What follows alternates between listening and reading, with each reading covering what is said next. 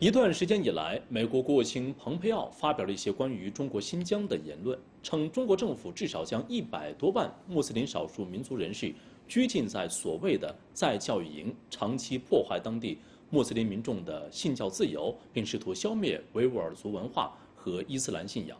在昨天的中国外交部例行记者会上，发言人耿爽表示，蓬佩奥的言论属于不实之词，新疆各族人民依法享受充分的宗教信仰和自由。新疆根本就不存在所谓的在教育营。新疆依法开办职业技能教育培训中心，目的是帮助少数受恐怖主义和极端主义侵蚀的人重回正轨，帮助他们掌握自食其力的技能，并最终重新融入社会。建立教培中心以来，新疆已经近三年未发生过暴力恐怖事件，安全形势得到了极大的改观。耿爽表示。新疆各族人民依法享有充分的宗教信仰自由，维吾尔文化得到有效的保护和发扬。蓬佩奥散播这些不实之词，证明他对中国新疆缺乏最基本的了解和认识。发言人强调，无论中国还是美国，都有一句话：眼见为实。